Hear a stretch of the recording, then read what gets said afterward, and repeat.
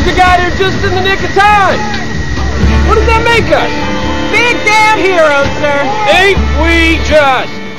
Hey, the boys from Africa, how y'all doing this evening? Sir, where can one go to find nice women here? Oh, you got to get out and look. They ain't gonna just fall in your lap. We have been to every bar in Queens.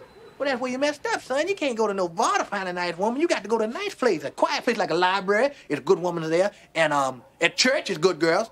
Or this place here, where I'm going tonight, the Black Awareness Rally, it's gonna be some fine women there. Good, good, clean girls.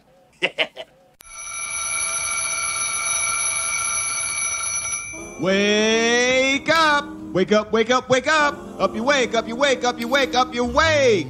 This is Mr. Senior Love Daddy, your voice of choice, the world's only 12 hour strong man on the air, here on We Love Radio 108 FM. The last on your dial, but first in your hearts, and that's the truth. Root. Here I am. Am I here? You know it. It you know. This is Mr. Senior Love Daddy doing the nasty to your ears, your ears to the nasty. Eyes only play the platters that matter, the matters they platter. And that's the Tarut root. From the heart of Bed-Stuy, you're listening to We Love Radio. Doing the yin and the yang, the hip and the hop, the stupid fresh thing, the flippity flop. Oh! I have today's forecast for you. Hot! The color for today is black. That's right, black. So you can absorb some of these rays and save that heat for winter. So you want to get on out there, wear that black, and be involved. Also, today's temperature is going to rise up over 100 degrees, so there's a Jheri curl alert. That's right, Jheri curl alert. If you have a Jheri curl, stay in the house, or you'll end up with a permanent plastic helmet on your head forever.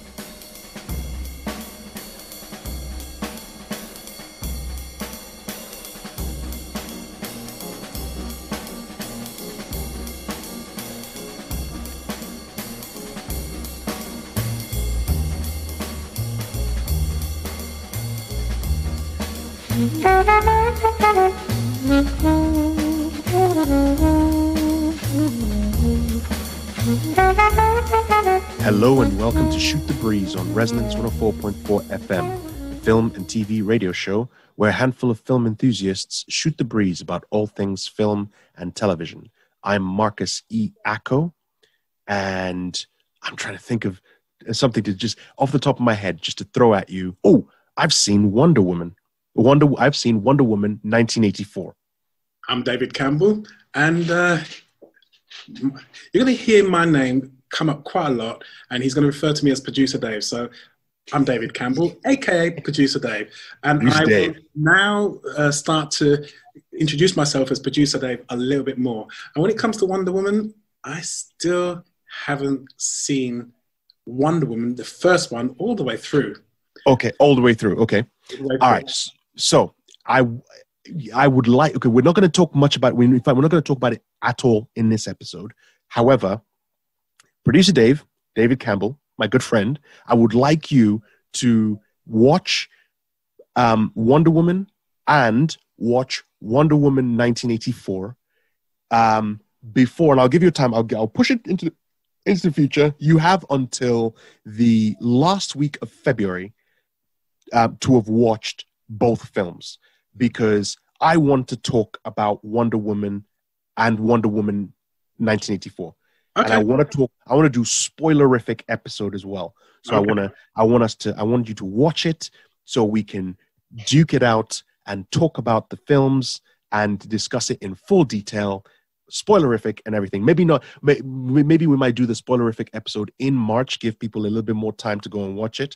But then we'll jump in and do spoilerific episodes. Okay, So so- yes, I'll watch it by the end of February. Watch both of them by the end of February, and then we can do a spoilerific episode in March. in March, exactly. Hopefully, hopefully at that time um, we can have a, a sort of like missing person come back and help us with it as well. Absolutely, absolutely. We're not going to mention the person's name just in case, obviously, the person, in case mentioning the name scares the person away. So we won't mention that person just in case. Uh, and then they'll come back in and join in. And every anyone out there who has watched Wonder Woman, uh, both Wonder Woman and Wonder Woman 1984, and would like to join in the conversation, the spoilerific conversation, we are throwing out this invite.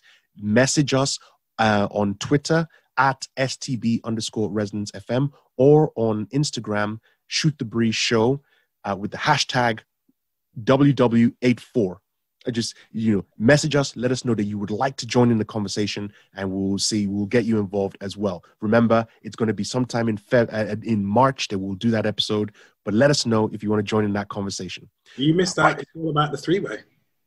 Uh, oh, yeah, oh, yeah, I didn't want I didn't want to tag that with the request for Wonder Woman. I wanted to keep it clean. Obviously, if you, just want to say hi, you enjoy the show, then you you know message us on both mediums and use the hashtag. It's all about the three way with the number three in it. So that's good. Just send it to us. Uh, you're listening to Shoot the Breeze on Resonance 104.4 FM. I'm Marcus E. Ako. I'm producer Dave and we are oh you've adapted it. We've we've beaten you into submission. Yeah you have. Now we have a jam-packed episode this week. We're going to have jam-packed episodes over the next few weeks. Um, i want to give you just a quick uh, sort of heads up as to what's coming uh, down the road. Um, we've teamed up up Jenna Suru, who's also the, the uh, president of the Paris International Film Festival. Uh, she is launching the Paris International Film Festival uh, February the 4th to February the 14th. Tons of amazing films uh, are included in the program. Uh, we've interviewed, we've been interviewing filmmakers from across the globe with different projects some of them some short films some feature films some documentaries and they're just there's some powerful ones in there. And we've been interviewing all of them doing like 15 minute bursts to interview all these filmmakers. And we're going to put those together in longer episodes. We'll bunch it up. So we'll have maybe four three or four filmmakers that we'll talk to in a particular episode. And we'll be re- re- releasing those episodes from next week maybe for the next three weeks for the Paris International Film Festival. Go on to Jenna Suru's website. We're going to post it on Facebook as well and share it on all social media. So you can go check out the program of films and then you can listen to our episodes to see who we've been talking to and what those films are all about. Um, we also are going to have our top five favorites uh, this uh, today, which is going to be top five favorites films about the Black experience. Figured we might as well just jump in there and do. We've been talking about doing uh, sort of a, a, top five of that nature in a very long time. We just haven't had the opportunity to do it, and now we're deciding we're going to do it. Um, and it's kind of to celebrate the uh, guest that we're going to have on today's episode, which is going to be in our film and TV news segment, which will be uh, featuring the writer, screenwriter, and author of the book A River Called Time. He's also written a number of episodes in Steve McQueen's Small Axe series. This is Courttia Newland. We're going to be talking to him in a few minutes.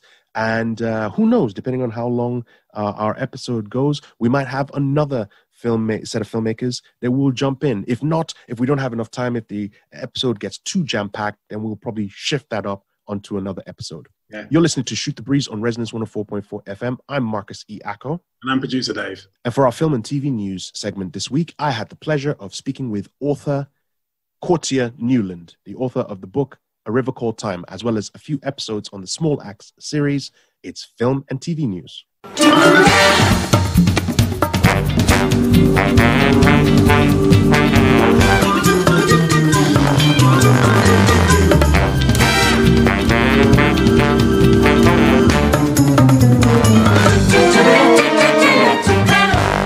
Listening to Shoot the Breeze on Resonance 104.4 FM. I'm Marcus E. Ako, and I'm joined by uh, a writer whom I respect. I've met him in the last couple of years, uh, and I, I respect his work. I had the chance to read his latest book. Please tell us your name and the latest book that you've just released. Uh, my name is Courttia Newland, and uh, my latest book is A River Called Time. Welcome, Courttia. Thank you very much. This is the second time that uh, I'm having a full-on uh, interview session with you. The first time was for my YouTube channel, The Idiot on the Writer's Block, and you give you gave me tons of advice that I've, I've been using on that channel. And we're doing the same thing again today. This time we'll talk about your new book, A River, uh, River Call Time, and later on I'll jump into your uh, the episode of the TV show Small Axe, which you you've written Lovers Rock, but we'll talk about that a little bit more. But let's start off with your latest book, A River Called Time. Tell us what what is A River Called Time. Uh, a River Called Time is a novel, uh, a very very uh, lengthy novel that's set in a parallel world where uh, slavery and colonization never happened. And because slavery and colonization never happened, African cosmology has become the dominant religion uh, in most parts of the world. I, and when you say it's a, it, I mean it's an epic. I had the opportunity. You you get you sent me an advance copy, which was excellent. Thank you very much for that. The very first advance copy I ever received. So I received it. I read it. I was like, wow! And that book is thick. Yes. Um, and then I also I also ordered it when it came out, and I got the audio book as well. Uh, but I'll be asking you tons of questions about all of that stuff. Um, mm. Tell me, um, how long did it take you to write this book? It took me uh, from beginning to end. It took me about 18 years, and I had the initial idea after I had uh, written my and um, published my first novel, The Scholar. So about 1997, I had the first kernel for the idea, and then I started writing it in 2002. Between 2002 and 2004, I wrote part one, which is what is in the book now, uh, pretty much. And then I stopped, and I didn't write any more until the end of last year.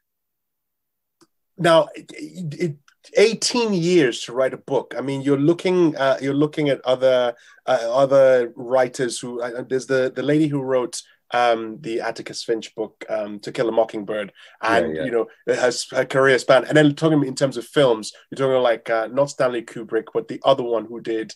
Um, oh, uh, uh, he does very landscape type films. Mm-hmm. um, and he spends like 15 years between films and whatnot. So yeah, it, it, took you. I mean, you, have got you, this is a it's a very thick book. Now you talked about you gave a little bit, and I'm not going to ask you to go through the entire story um, because because you've already talked about how the fact that it is looking at a at an alternate universe, if you will, where colonization didn't really happen. Is there a character that we latch onto and follow throughout the story? Yeah, you follow Marcus Denny who is uh, from a poor background. In this world, you've got a huge building in the middle of, uh, you know, inner city London, uh, which is called the Ark. And apart from that building, the rest of like inner city has been obliterated. It's called the Blin, which means scar in in in, in this parallel. And uh, all the all the all the rich people live in the Ark, it's turned out the way it wasn't meant to be that way. All the rich people live in the Ark, and all the poor people live in outer city, which is outer London, which is heavily polluted and it's crime ridden and it's just you know not good education.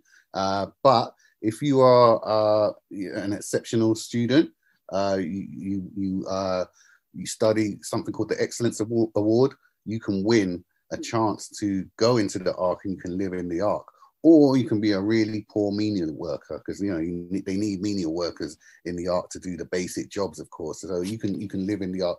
Those are two ways that poor people can go into the Ark and live in the Ark. And uh, Marcus uh, takes this excellence award. Uh, he wins a chance to go into the Ark, but during that time, he discovers that he can actually travel to parallel other parallel time periods uh, through astral projection and out of body experiences that's what he does. and, and that's and that's that's a fantastic lead into the story because as soon as you jump into it, um, and I've got tons of questions about how you want to look at it, uh, what you know what you want to do with this particular book in the future. But just before I dive into those, I want to ask what inspired you particularly to write this book. Well, the first inspiration was that I had an out of body experience. I think uh, I would say I think because people are like, oh, how can you be sure and stuff? I'm not sure, but I know that I, I, I was lying in bed just after I've written the scholar, I was living first time I moved out of my house, and I felt like I had an out of body experience. I felt like I'd I, would lifted out of myself and, and I was looking down on my own body. And then, you know, I, have described this a lot in, in other interviews, but, you know, I came down into myself and I woke up and I was in the room and everything looked exactly the same as it had in my, in my dream. And, and uh, my first thought was, wow, that was really weird. And then my second thought was, wonder what would happen if I wrote about that. that was like literally my, my my straight away thought. And so for years after that, and like I said, it was 1997. Uh, I played around with different ways that I could write about that experience. And then in 2002, I'd managed to know, get it all together. I'd thought about the arc. I'd thought about inner city. Originally, there'd been two uh, separate ideas: the inner city idea and astral projection idea. And then I thought, okay, so what if you put them together? And I had enough of an outline to apply for Arts Council funding. And uh, I wrote the outline of the whole book then, uh, the book as you have it. And uh, they gave me the money and I got started and I wrote part one. You're listening to Shoot the Breeze on Resonance 104.4 FM. I'm Marcus E. Ako, and I'm here with the writer of a new book, a new epic Af- Afrofuturism novel, A River Called Time, Courttia Newland. Um, Courttia, I want to I want to jump into something to do with uh, A River Called Time, which is to do with the audiobook that has come out because I, I, recently uh, purchased the audiobook as well, uh, just because I, I love the the the the novel. It's a very thick novel, um, and I wanted to make sure that I didn't miss anything because there's a lot. If you're not focusing, you could miss. Um, so tell us about your process of actually getting the audiobook uh, recorded. Uh, what did you? What were your your impressions about who was supposed to be doing the voice? Because I believe it's Michael Abiola that does the voice and it and narrates um, your audiobook. So what did you? What was the process of actually going in and selecting the right narrator for your book? Well, I was very lucky because you know this is a very hands-off experience when you're working with like a great publisher like uh, Canongate, and they presented me the option of of, uh, of an actor to read the story, and it was Michael, and I know Michael really well. I've worked with him on a number of occasions. We worked on actually the development of The Scholar as a film, you know, like Michael was the actor that we chosen, along with another actor called uh, Gary Carr at one point in time. And Gary Carr, you know, went off to be in uh, uh, The Deuce, uh, which was in, you know, um, the, the, the, David Simon uh, TV show. So that was really amazing to see him in that. But uh, at that time, they were young actors, and I was working with them also uh, michael's actually uh, read some of my stories before you know like in a live setting. So so i knew that he could do it. I've heard him read my stuff. I knew he understood it. And so uh, i was really really happy to be presented, be presented with that option. And i said hey i know this guy. I've worked with him like like over many years you know we've gone out and had lunch together and stuff. So i was like yeah fine. Let's just let him do it. And uh, he did a really brilliant job. So so yeah it was really painless and the audiobook you can get it on audible or anywhere where you can get uh, audiobooks uh, and he does a great job does a terrific job uh, representing different characters in that as well you're listening to Shoot the Breeze on Resonance 104.4 FM. I'm Marcus E. Ako, and I'm having a blast talking with the author of A River Called Time, Courttia Newland. Uh, now, uh, Courttia, and I want to try to segue into the TV show episode of, of Small Axe that you wrote, which we'll come to in just a second. But I want to finish off with uh, A River Called Time. This is an epic novel that has been that you've you've taken 18 years to build um, would you ever consider it being adapted into either a movie or a series, miniseries, etc.? If if yes, by whom? Um, I am exploring those avenues right now, but uh, I can't say by whom. Oh come on! You can try, you can you can drop a spoiler for us, right? We, uh, shoot the shoot the breeze will will will will be the breaking you know the one who breaks this story that says yes yeah, this yeah. is what's happening. Yeah, I would. I don't I don't want to like I've got about I've got a few people that I would like to talk to about it in various ways, I don't want to annoy anyone. So uh, yeah, I'm not going to say particularly who those people are. I haven't approached anyone about it yet, but, but I would like to. So so yeah, I, I just yeah I'm not sure. It depends on people's what what they're doing work wise, and it, you know, and it depends on whether they're even into this kind of stuff. I'm just not even sure whether the people I want to talk to would be into this. But uh, yeah, yeah, I, I, or, you know, there's there's there's particular people, you know, but it's like it's what if at the minute. So I just don't want to say and kind of like annoy them. Sure.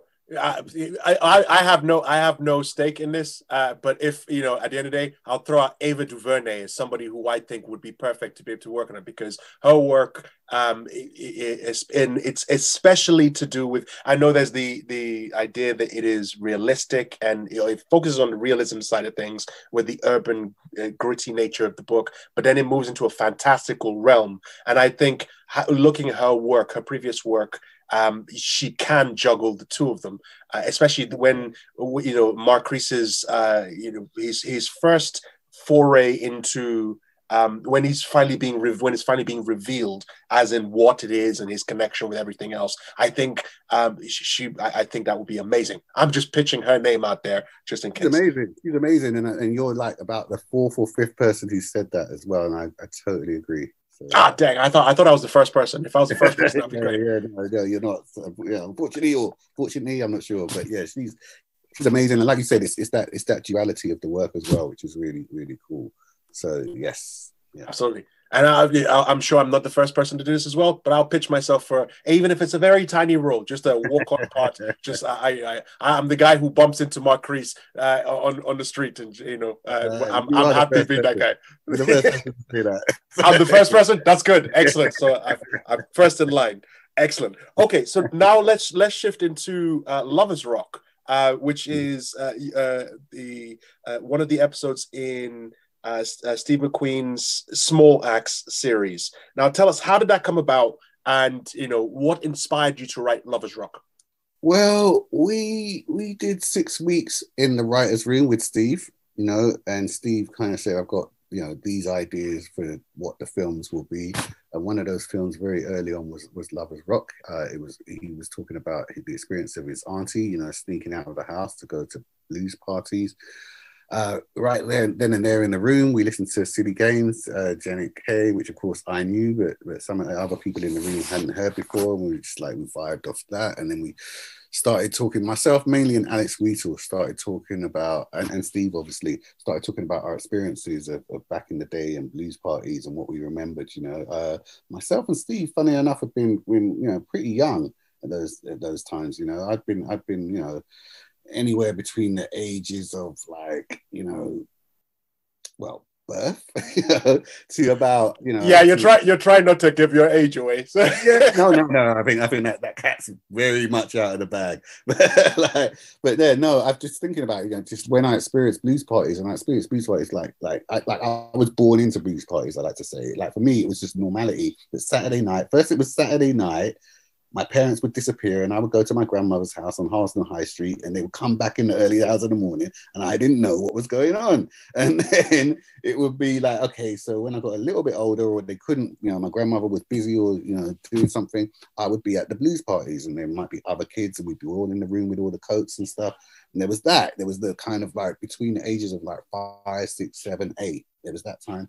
And then there was the kind of teenage blues parties thing when I was like 12, 13, and I could it was a different stage of that, you know. And they were slightly waning, you know, but they was it wasn't like it had been when I was a kid, but they were still in existence.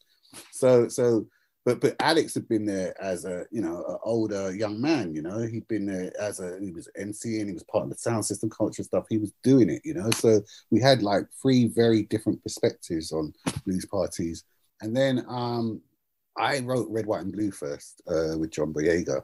That was the script that, that I, I was I was I was given by Steve, and I wrote that with Steve. We went back and forth, and we, you know we were co-writers on that. And then uh, once it was done, and I think you know Steve was like, mm, you know, good job and stuff. He said to me, you know, do you want to do Lovers Rock, which I was really excited about because, to be honest, that's the one that I wanted to do. That's the that's the one I was really really into, and I had a kind of from what Steve was saying about the way that he wanted to do it, I had an idea of how we could do it together and make it into something that wasn't so literal and was a bit, you know, it wasn't about being linear and plot based. It was more about an art house experience of the world, you know. Yeah, because I'm I'm yet to watch Red, White, and Blue. I've just finished uh, Lovers Rock, uh, and I'm loving. I, I I love most everything that uh, I've seen Steve McQueen do. Um, and yeah, I, I it really enjoyed Lovers Rock. It I didn't grow up. Those years, those formative years for me were in Nigeria, so it was similar in that respect, but obviously in a different context, different culture. Um, and so it was. So I enjoyed exactly the same sort of uh, setup as well. Okay, so just diving back into a river called time for people who have been listening and are interested in getting the book. How can they get? Um, how can they get a river called time? How can they order it? How can they follow you on social media and follow the progress of the book on social media? Well, I'm mainly on Twitter, so I'm talking a lot about the book on Twitter. Uh, you can get it from you know all the best uh, bookstores. You know, I mean, I would urge people to support local bookstores in these times. So I know Newham Books in in in, in um, uh, Newham, obviously, they they uh, have signed copies of the books, and they're very quick at getting them to people. Uh, but but also, you know, New Beacon Books, you know, in North London, they have them, and like loads, you know, Burley Fisher, and you know, uh, Page of the Hackney, you know, they've all they've all got copies of the books. So please support those bookstores, and of course, you know, Waterstones and Amazon as well. So you can get it virtually any anywhere, anyway. I think. Excellent. Uh, you, you listened to Shoot the Breeze on Resonance 104.4 FM. Courttia, thank you tremendously for joining me today, uh, talking about your book, A River Called Time. Uh, and you know, I'm I'm I'm I'm glad to know that I'm associated with you in the sense that whenever I need to get you on one of these shows or on either this one or on Idiot on Writer's Block, you are uh, you're happy to jump on and give me advice on how I can work with my stuff and how we can uh, help other people get to to working in the film industry and in in, in writing books, etc. And that's I want to thank you very much for that. Yeah, no problem. Sure, I'm happy to do it. That was uh, that was my that was me talking to uh, my new friend. I'm, i feel fine calling him a friend. Um, he's going to listen to this and say, uh, "Dude, we're not friends." But either, either way, I think we're friends. I'm calling him my friend. Courttia Newland is my friend. Uh, he's the author of the book A River Called Time. Go and check it out. It's a really good book, really, really dense, thick book, um, but it's exciting. Afrofuturism all the way go check it out. Listen to the audiobook as well and go check out his episodes and check out all the episodes on small axe as in the small axe uh, series which is on bbc iplayer. Steve mcqueen it stars uh, uh, uh, john boyega and a whole bunch of other fine talent in the british Michael Ward. british actors. Fantastic Michael. actors. Yeah. go check it out. You're listening to shoot the breeze on resonance 104.4 fm i'm marcus e. Ako, I'm David Campbell. and this is top five favorites You're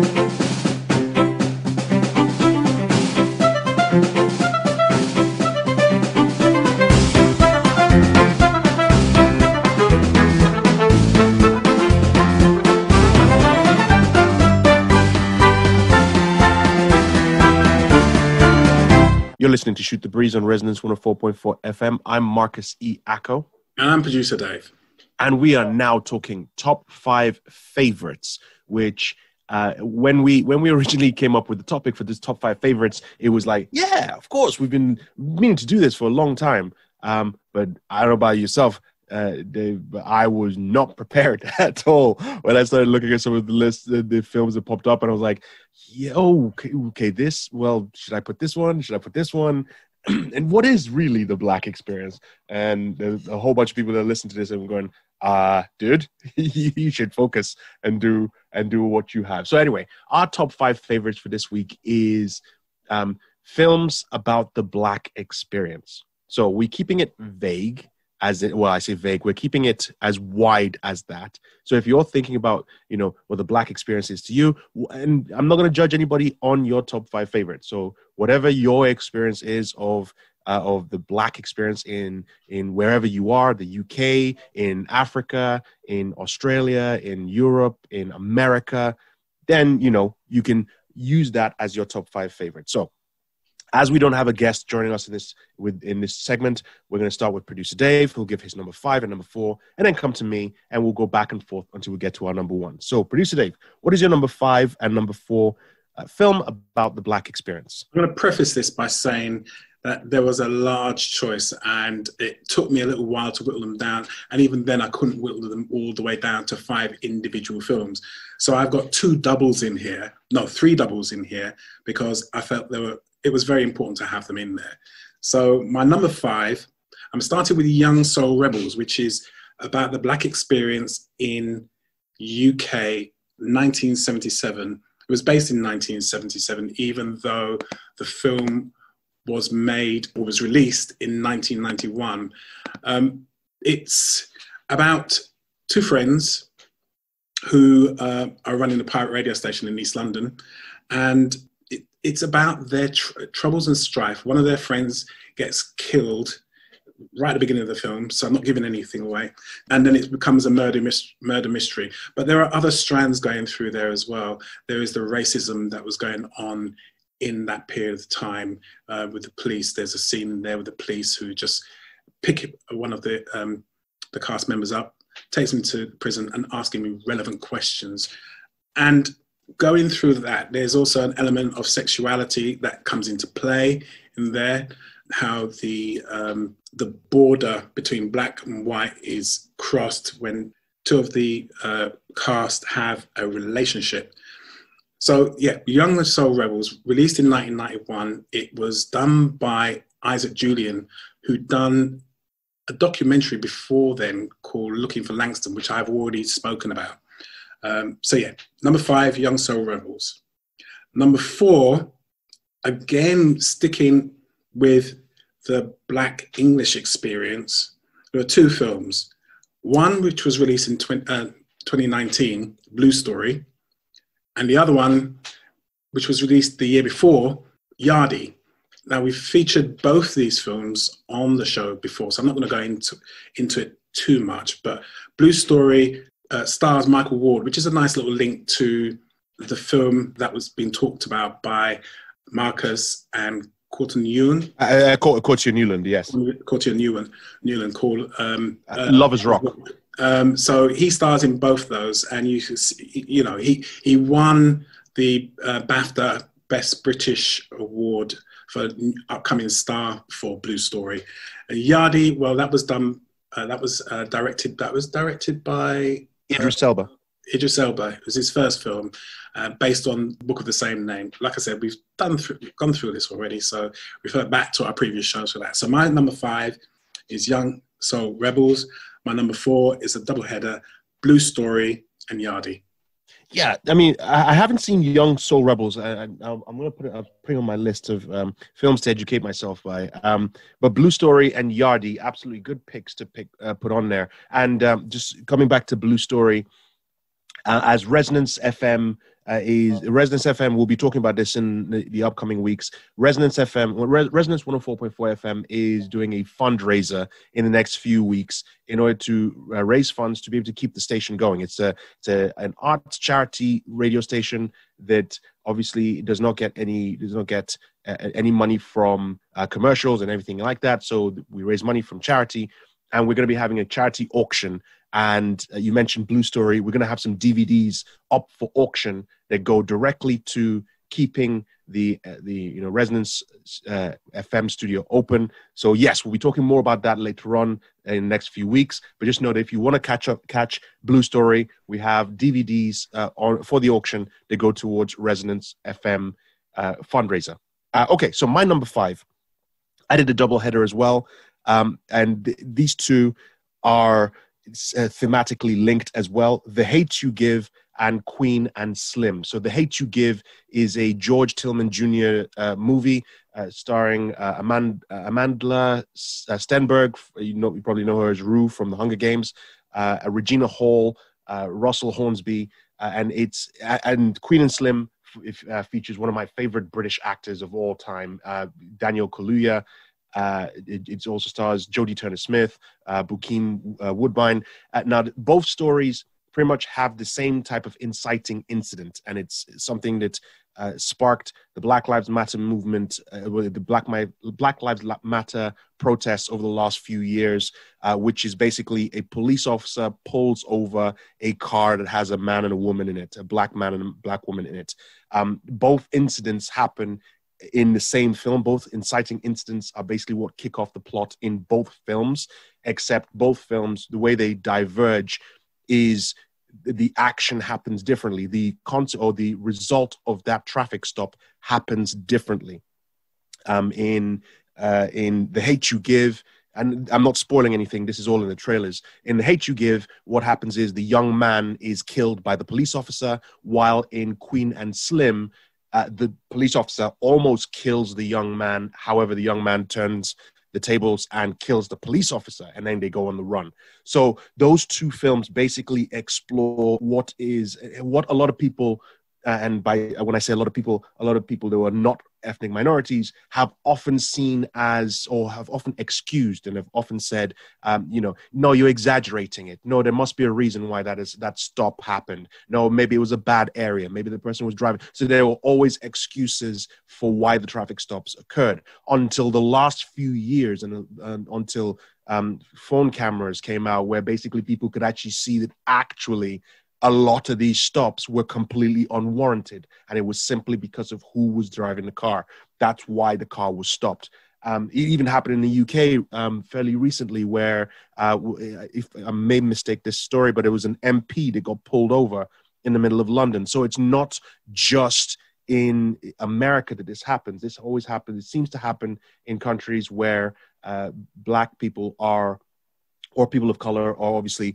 the minority population. So those two films in particular they they dive into that common tr- um, common event, common phenomenon that happens across the world in in in, in these kind of cities, and it just both films are just so moving in two different ways. You see a revolution effectively uh, erupt from that one incident that happens in both films. So those two films are The Hate You Give and Queen and Slim. My number four, and I'm going to steal this one from you, David, because you introduced me to the, Abba introduced me to the film. Uh, you, it was you talking about it. I'd heard about it, but I didn't check it out. And then hearing you talk about it made me go and watch it.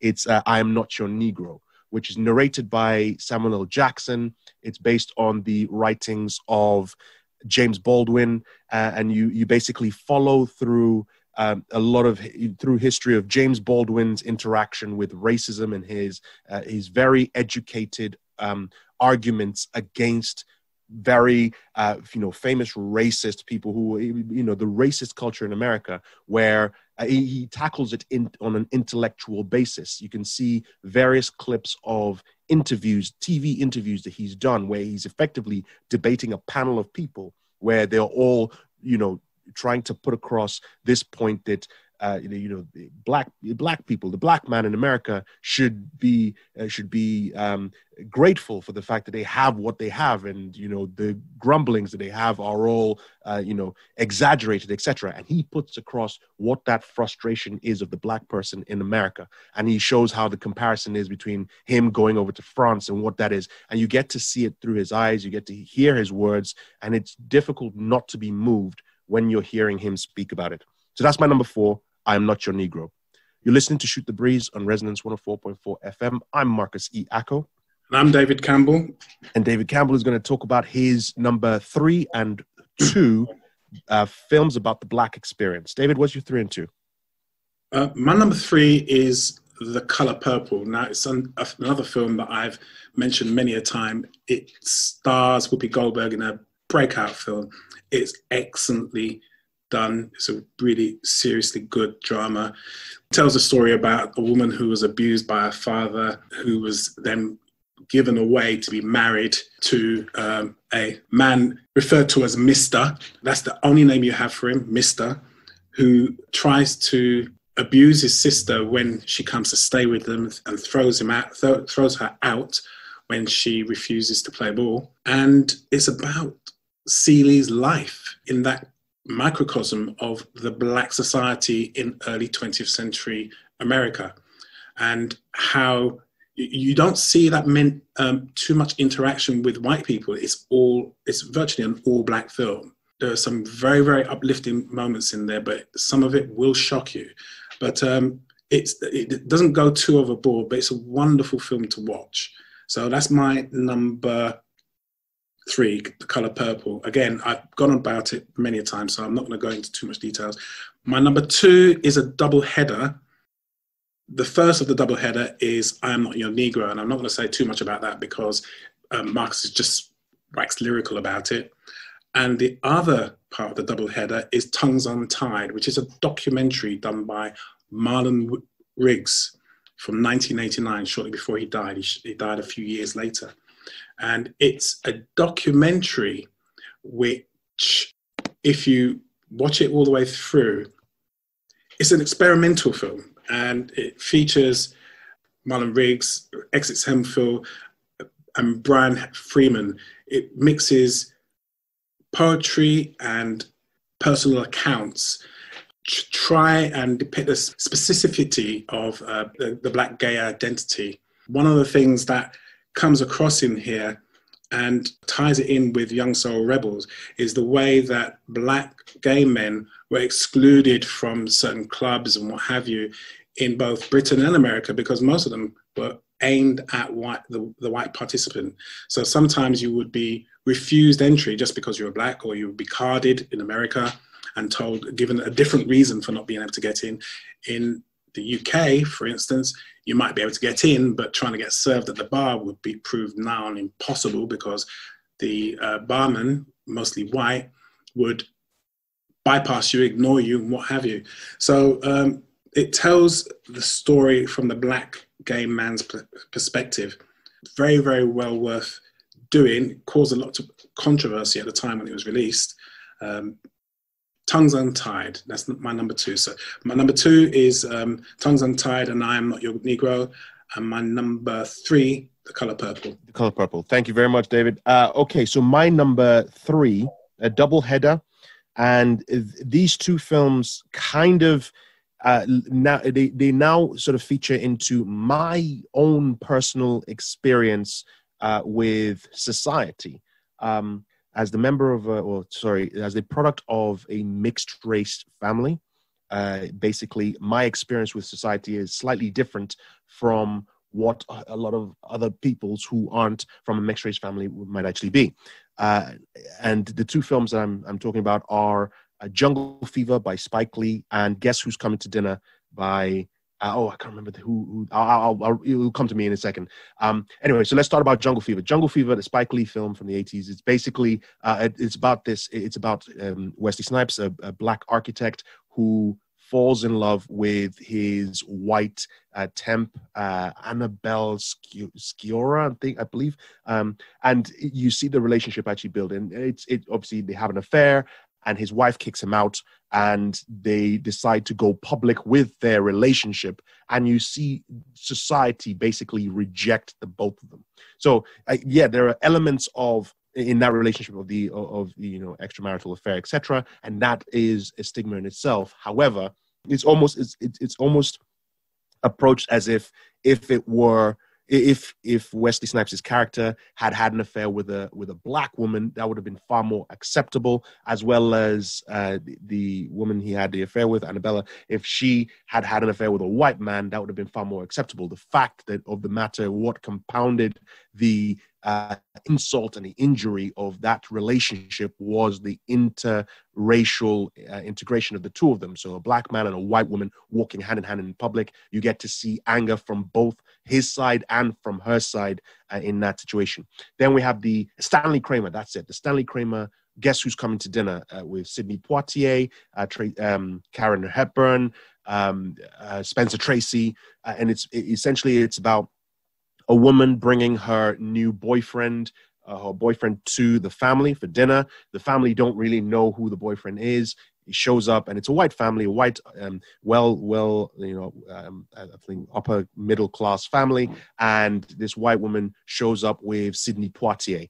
And essentially it's the the drama that ensues, the tension that builds between what is clearly a racist father uh, against this very intelligent man who's basically um, counteracting every single negative stereotype that he has of black people. And you get to see that interaction. So those two in particular really, really spoke to me um, with regards to the added pressures that uh, people who who basically who love each other across racial lines and they want to they, they want to start families across those racial lines without caring about what the what the repercussions would be and the pressures that they experience to stick to their own kind which that really spoke to me from both, both movies. So that's jungle fever and uh, guess who's coming to dinner as my number three.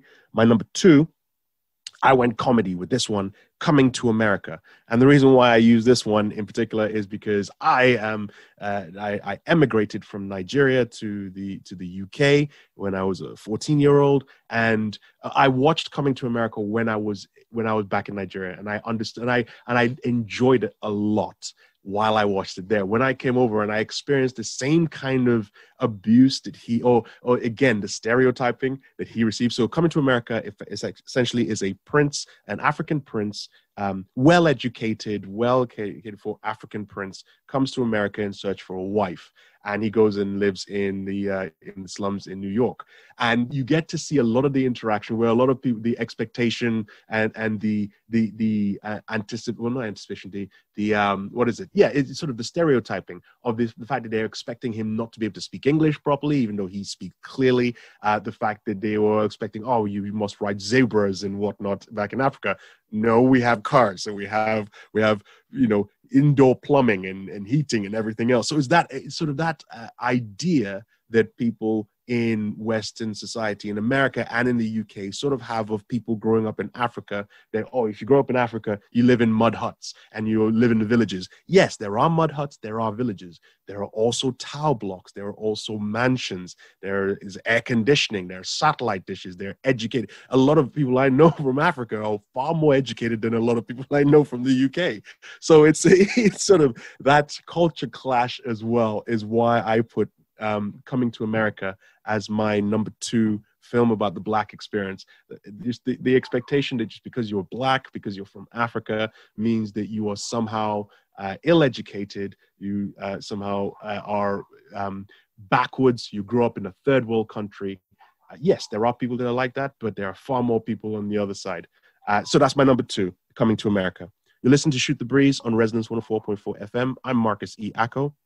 I'm producer Dave and we are saying our number one films, uh, favorite films about the black experience. David, what's your number one? Again, another double header, and I couldn't separate these two because um, basically they're both very powerful films. Um, first one um, on the double header is Spike Lee's Do the Right Thing. I've said this many a time. I, I think for me, it's one of his best films.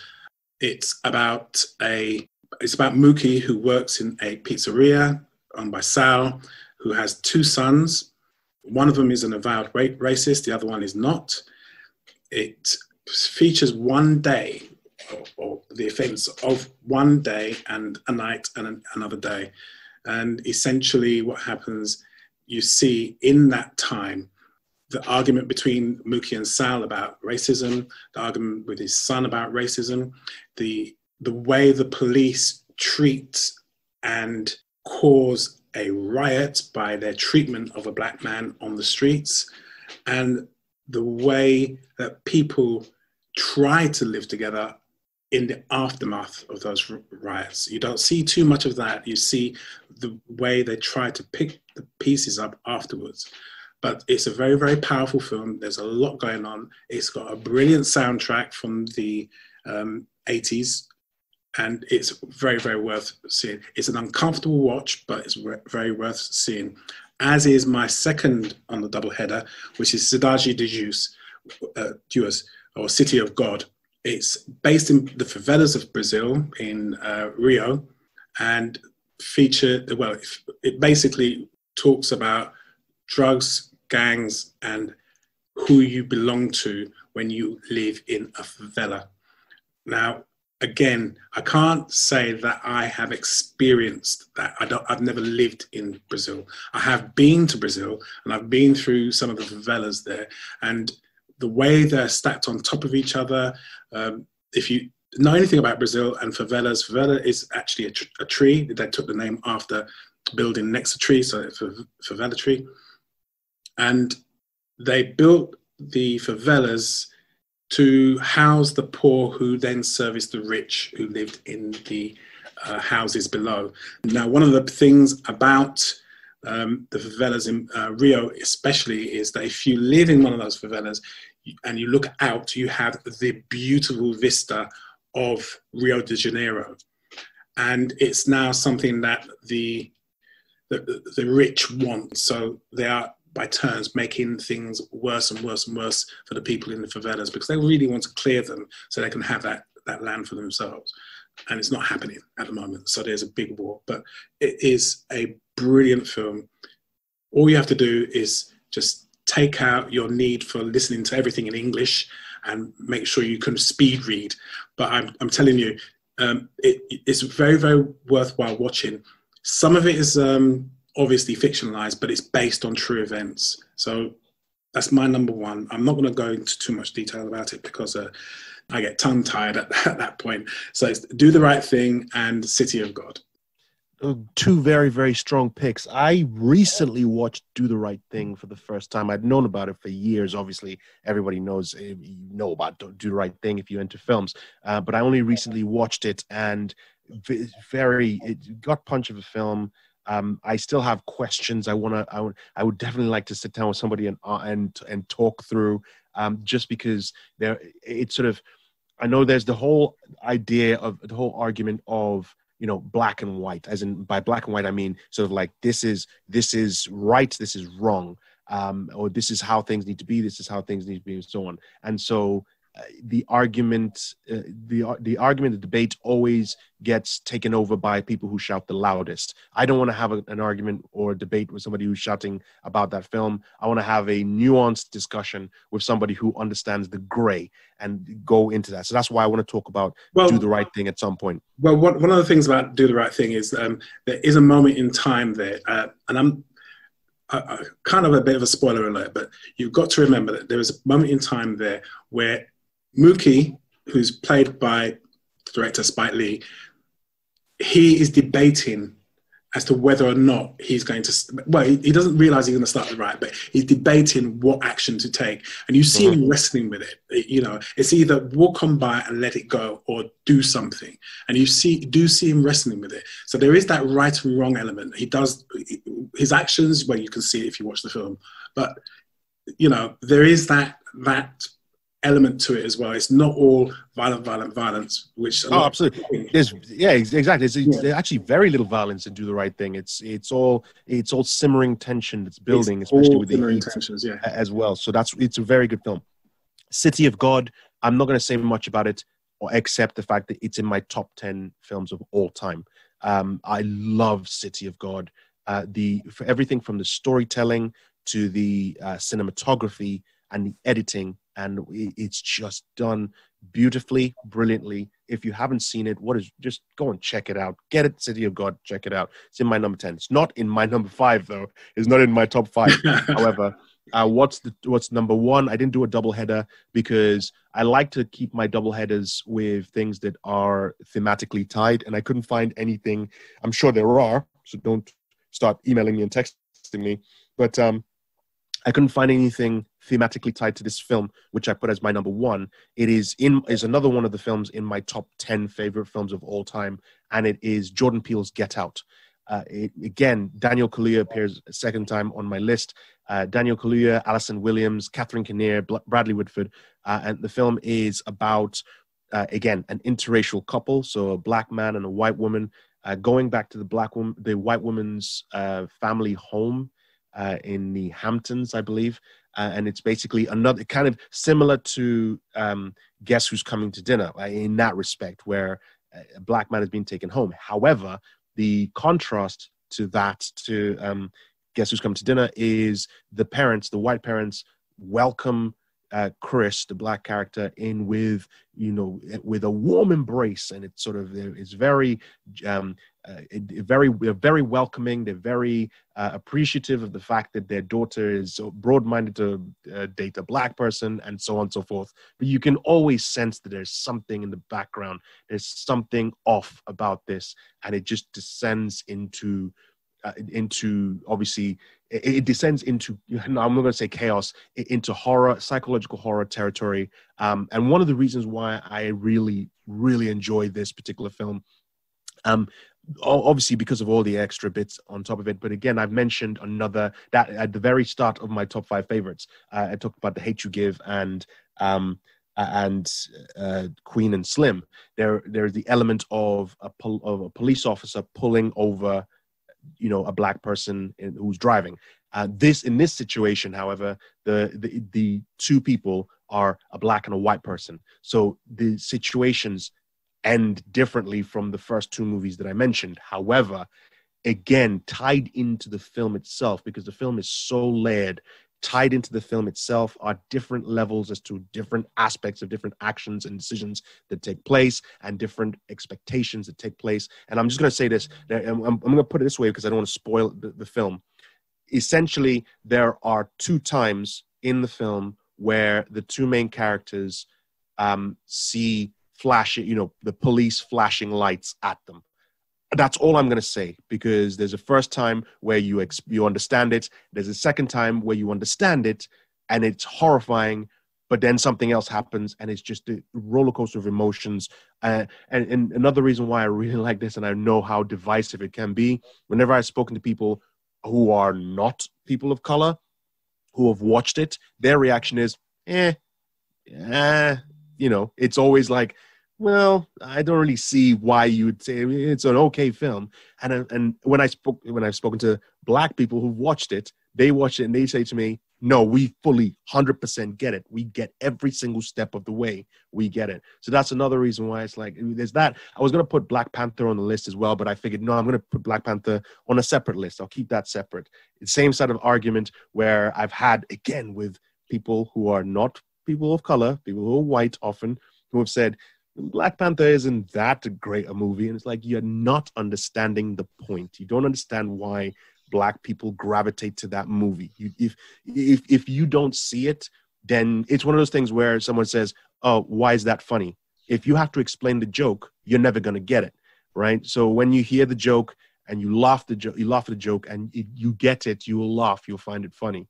If you see something that is horrific, or if you get why those themes in Get Out are horrific or are scary, if you get it instinctively, then you will get the movie and you'll understand it. If it doesn't occur to you immediately, then you're not going to get it. You're not going to enjoy the movie. You'll see it just as a, yeah, it's one of those kind of movies. So that's why Get Out is my number one. I want to, I Yeah. will champion it until, uh, until I can champion it no more. I'll keep championing. I think Jordan Peele did an amazing job with that film. I think Daniel Kaluuya's performance is just utterly fantastic in that film.